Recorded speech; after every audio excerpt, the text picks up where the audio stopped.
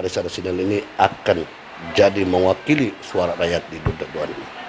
Jadi itu sebabnya kita minta sebab sebelum ini kita tidak pernah diberi peluang pun. Kawasan Parlemen Persiangan ini dia ada AMNO tetapi AMNO hanya membantu sampai hari ini. Tetapi saya minta supaya pucuk pimpinan dapat mengkaji sebulah keadaan ini berilah peluang kepada AMNO untuk supaya membawa suara rakyat ini di hari Dewan Undangan Negeri. Nah, itu itu matlamat kita. Saya bagi ketua bah, sebagai ketua bagian itu matlamat saya utama. Keutamaan saya adalah untuk sasaran kita ini, untuk bawa keluar kita punya rakyat daripada belanggu kemiskinan ini. Sebab terutama sekali yang duduk di pinggir-pinggir sungai ini, pinggir sungai di atas bukit apa semua ini, kita mau bawa dia keluar. Sebab mereka ini mempunyai tanah yang cukup luas, tetapi uh, satu cabaran mereka mereka boleh bangunkan tanah ini dengan secara berkelompok, tetapi orang tidak dapat mengeluarkan hasil karena disebabkan perhubungan itu. Perhubungan itu tiada.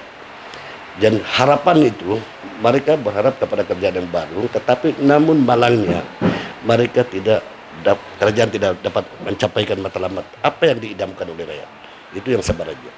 Jadi sekarang ini kita mau itu mereka mau dengan barisan nasional ini sebagai mewakili suara daripada Duna Bawan ini karena sudah terbukti selama uh, terbukti bahwa barisan nasional ini selama 60 tahun dia akan bawa pembangunan di Duna Bawan di Palembang Persiangan ini. Termasuk sekarang sekarang jalan di apa namanya di Salung pergi ke pegunungan daerah kecil yang mana sedang pembinaan di turap aspal. Jadi ini satu bantuan daripada kerajaan berdasarkan bukan kepada kerajaan yang baru tahu, tetapi ini dirancang pada uh, RMK 12 dulu. Uh, jadi bila ini sudah pelaksanaan sudah berlaku, rakyat menempatkan bahwa barisan nasional lah yang betul-betul berjiwa untuk rakyat. Jadi itulah satu harapan kita. Biar ini berilah peluang kepada AMNO ini siapa-siapa pun calon yang penting daripada ini sering berlaku bila bila pihak PRN bila PRN akan datang hadir. Jadi kadang-kadang rakyat kita di persiangan ini dia sering rasa mencoba macam mana ini parti baru, kerajaan baru. Ini yang sering berlaku.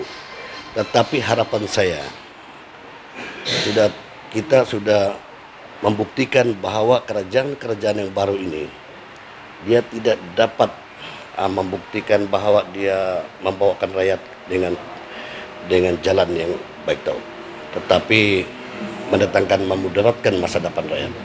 Jadi itulah harapan saya kepada semua rakyat di pensiangan ini um, jangan lagi pikir yang cuba-cuba dan mencoba dengan parti yang lain pimpinan yang baru. Tetapi harapan saya kepada semua pengundi di Dunoban sekali di persidangan ini saya harap supaya mereka akan bagi tumpuan. Bagi tumpuan kepada parti yang yang rasa mereka yang cukup menjaga kebajikan rakyat. Itu untuk keutamaan kita.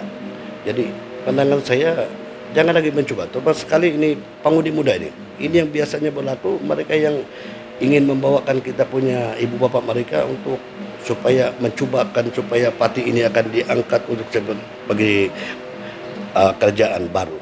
Tapi apa yang